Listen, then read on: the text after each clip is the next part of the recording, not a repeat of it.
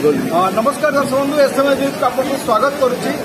ଆମେ ବର୍ତ୍ତମାନ ଅଛୁ ବିଏମ୍ଏସ୍ ଭାରତୀୟ ମଜଦୁର ସଂଘ ସଂଯୁକ୍ତ ରାଉରକେଲା ଇସ୍ପାତ କାରଖାନା କର୍ମଚାରୀ ସଂଘ ତାଙ୍କ କାର୍ଯ୍ୟାଳୟ ପରିସରରେ ପ୍ରତିକୂଳ ପାଗ ଆଜି ଚଉଦ ଅଗଷ୍ଟ ପ୍ରତିକୂଳ ପାଗ ପନ୍ଦର ଏଥର ହର ଘର ତିରଙ୍ଗା ଯେଉଁ କାର୍ଯ୍ୟକ୍ରମ ଏହା ଅବିରତ ଚାଲିଛି ଦେଶ ସ୍ୱାଧୀନତା ଆସନ୍ତାକାଲି ଆମେ ସମସ୍ତେ ପାଳନ କରିବା ପନ୍ଦର ଅଗଷ୍ଟ। କିନ୍ତୁ ତା ପୂର୍ବରୁ ଦୁଇ ଦିନ ପୂର୍ବରୁ ଆଜି ପ୍ରତ୍ୟେକ ଘରେ ଝଣ୍ଡା ରହୁଛି ଆଉ ଏହି ଅବସରରେ ରାଉରକେଲା ଇସ୍ପାତ କାରଖାନା କର୍ମଚାରୀ ସଂଘ ମଧ୍ୟ ଅଭିନବ କାର୍ଯ୍ୟକ୍ରମ ନେଇଛନ୍ତି।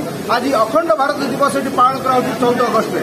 ଆଉ ଏଠି ଆମେ ଠିକ୍ ଟିକେ ପୂର୍ବରୁ ଯେହେତୁ ପ୍ରତିକୂଳ ପାଗ ଅଛି ଆମର ମଶାଲ ଶୋଭାଯାତ୍ରା ଥିଲା। ମଶାଲ ଶୋଭାଯାତ୍ରାରେ ইস্পাত কারখানা কর্মচারী সংঘর যে কর্মকর্তা অনেক সমস্তে যাই সামিল হয়েছিল আতিকূল পাগরে বেশি দূর নযাই পর্যন্ত অল্প দূর সমাপন করছেন আটা পুনর্বার তাঁর অফিস আসুন একটা বৈঠক অছি এই অখণ্ড ভারত দিবস পালন উপরে সিধা সড়ক প্রতিক্রিয়া নেওয়া যেহেতু রিক্সর যে সভাপতি অনেক হিমাংশু গোড় আমার সহ অনেক কমিটি রয়েছে কার্যক্রম আখণ্ড ভারত দিবস আজ কমিটি পাচ্ছে কম তাঁর রয়েছে আজ দিবসের কম পরিপ্রেক্ষিতে তাঁর হচ্ছে কম তাঁর বৈঠক হব কম আলোচনা হব হিমাংশু আপনার স্বাগত করছি আজ অখণ্ড ভারত দিবস কার্যক্রম ଅଭିପ୍ରାୟ କ'ଣ? କ'ଣ ଏହି ଦିବସର ଇଏ ରହିଛି?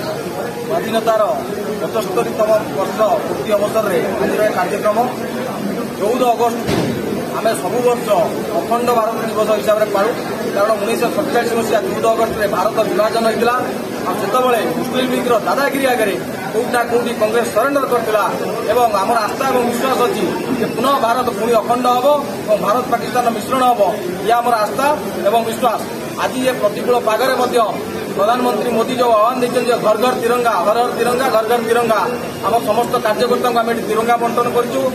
ଆମର ଯେଉଁ ରାଲି ଆଜି ଗୋଟେ ବିଶାଳ ଶହ ଶହ ସଂଖ୍ୟାରେ ଯେତେ ପ୍ରତିକୂଳ ପାଗରେ ବି ଆମର ଭାଇମାନେ ରେନକୋଟ୍ ଛତା ଧରି ପାଖାପାଖି ତିନି କିଲୋମିଟର ରାଲି ଆମେ ପଦଯାତ୍ରା କରିଥିଲୁ। ତାପରେ ଦୁଇ ନମ୍ବର ବସ୍ଷ୍ଟାଣ୍ଡରେ ପଞ୍ଚସ୍ତରୀ ବର୍ଷ ପୂର୍ତ୍ତି ଅବସରରେ ପଞ୍ଚସ୍ତରୀଟି ମଶାଲ ଜାଳି ସମସ୍ତ କ୍ରାନ୍ତିକାରୀ ଯେଉଁମାନେ ତାଙ୍କର ଜୀବନକୁ ଆହୁତ ଦେଇ ଯେ ସ୍ୱାଧୀନତା ହାସଲ କରାଯାଇ ହାସଲ କରିଛନ୍ତି ଏବଂ ସମସ୍ତ ସଂଗ୍ରାମୀ ସ୍ୱାଧୀନତା ସଂଗ୍ରାମୀ ଯେଉଁମାନେ ନିଜ ଜୀବନକୁ ତିଳ ତିଳ କରି ଜାଳି ଯେ ସ୍ୱାଧୀନତାକୁ କୋଉଠି ନା କୋଉଠି ହାସଲ କରିବା ସହାୟକ କରିଛନ୍ତି ସେ ସମସ୍ତଙ୍କୁ ଆମେ ଶ୍ରଦ୍ଧାଞ୍ଜଳି ଦେଇଛୁ ଆଉ ଆଜି ବର୍ତ୍ତମାନ ଏହା ପରେ ଯଥା ଆମର ଅଖଣ୍ଡ ଭାରତ ଉପରେ ଏଠି ବିଶେଷ ଆଲୋଚନା ହେବ ଯେ ଭାରତର ବିଭାଜନ କାହିଁକି ହେଲା କୋଉ ପରିସ୍ଥିତିରେ ହେଲା ଏବଂ ଭାରତର ଏକତ୍ରୀକରଣ କେମିତି ହେବ ଯାହା ଉପରେ ଅନେକ ବକ୍ତା ଅଛନ୍ତି ସେମାନେ ମତବ୍ୟକ୍ତ କରିବେ ଏବଂ ଏଇଟା ଖାଲି ଆଜି ଆରଆଇକେ ରାଉରକେଲା ଇସ୍ପାତ କାରଖାନା ପାଳୁଛି ସେଟା ନୁହଁ ଭାରତୀୟ ମଜଦୁର ସଂଘ ସ୍ୱାଧୀନତାର ପଞ୍ଚସ୍ତରୀ ପୂର୍ତ୍ତି ଅବସରରେ ସମସ୍ତ ୟୁନିଟ୍ରେ ଆଜିର ଏହି ଉତ୍ସବ ପାଳନ କରାଯାଉଛି ଯେତେବେଳେ କଥା ହେଉଥିଲେ ହିମାଂଶୁ ବାବୁ କହୁଥିଲେ భారత్ బిఎంఎస్ ప్రతి యూనిటరీ అజెండా పాలన గురించి రావుకుల బిఎంఎస్ సంస్థతో రావుకుల ఇబ్బంది